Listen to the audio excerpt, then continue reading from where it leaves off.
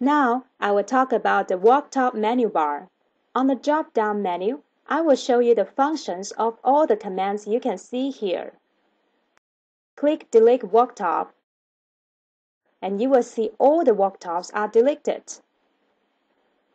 And you can also see Auto Create Worktop, select Units to create worktop, create worktop manually. And first, click Auto Create Worktop. Then click Auto. So, you can see the worktops are created directly. Right-click this worktop and you can delete it. Next, click Select Units to create worktop.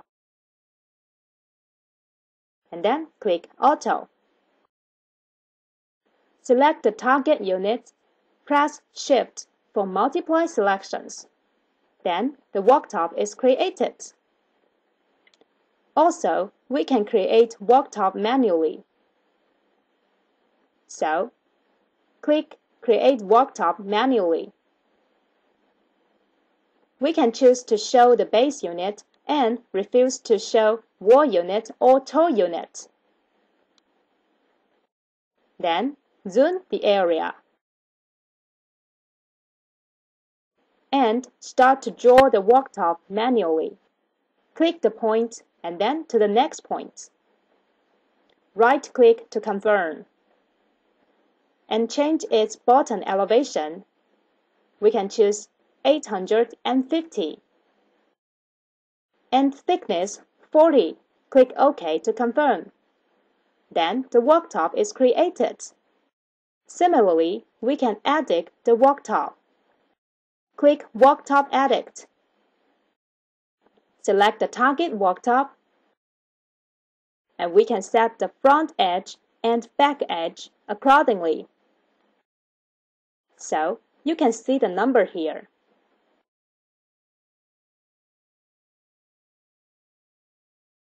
number 0, number 1, number 2, and number 3. So here, we choose the size from number 3 to number 0. So we click Add, set its start point and end point. Click OK, so we can see the size has been changed. Right-click and edit it.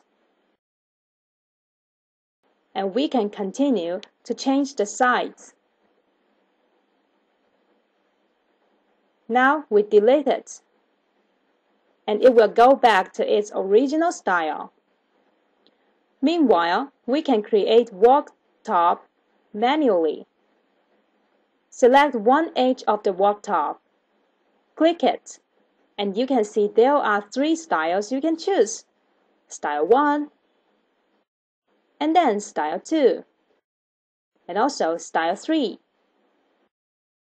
Here, we choose the second style, and thickness we make it 40, real thickness and also 40. And we tick on floor and double size. Click OK to confirm. Click bar counter. As for bar counter location mode, we can choose by cabinets. Then click OK to confirm.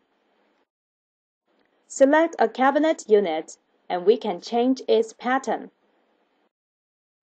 So here we choose pattern 2. As for orientation, we choose left. And you can change width length, thickness, and offset distance, we make it minus 900. We can also add a width, length, thickness, elevation, and the diameter of the leg. Click OK. Similarly, right-click the bar counter and we can delete it. Next, click Create Wall Seal manually.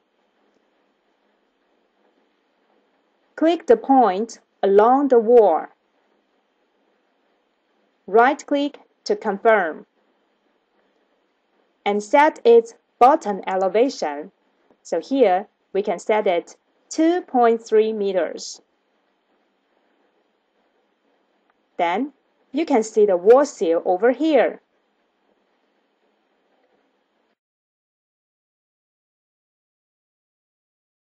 Click Delete Wall Seal, and then it is deleted.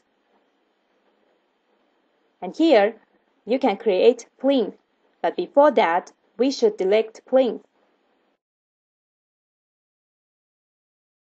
Then, click Create Plinth and click Auto, select Units to create or Create manually. So here we choose Auto. On the drop-down menu, we can choose to create cabinet legs or delete cabinet legs. The way is the same as creating plinth. Done.